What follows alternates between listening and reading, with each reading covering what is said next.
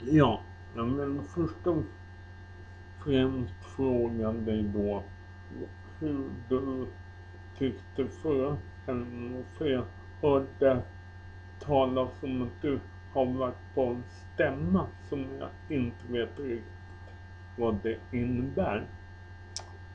Um, ja, det var en stämma förra helgen. Och, um,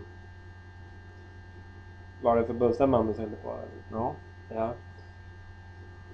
Ehm, ja, vad ska man säga? Det, mm, jag vet inte heller riktigt, men alltså det var en massa människor där och ja. Ehm,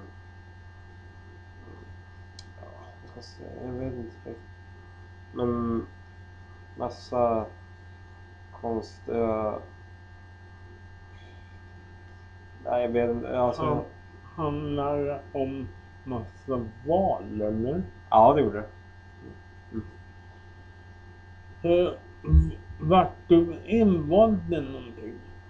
Nej. Inte vad då vet. Inte vad jag kommer ihåg. Nej. Var det det? Ah, Okej. Ja, ja. Ja, ja. Det är det ja. Ja, ja. Mm, det var det.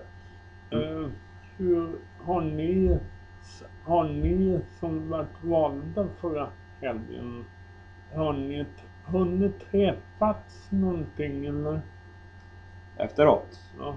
Ehm, nej, just... Ja, lite grann men... I, den här helgen är det ju första styrelsemötet kan man säga, när det är styrelsen. Okej. Mm. Ja, då tycker du det har gått bra då eller? Eh, ja, det tycker jag väl. Det är svårt att säga när man inte har suttit i den här styrelsen tidigare. Men eh, ja, nej, men jag tyckte det känns bra. Eh, Jag glömde visst att fråga vad du hette.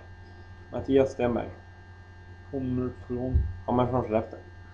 Då får jag tacka. Tack så mycket.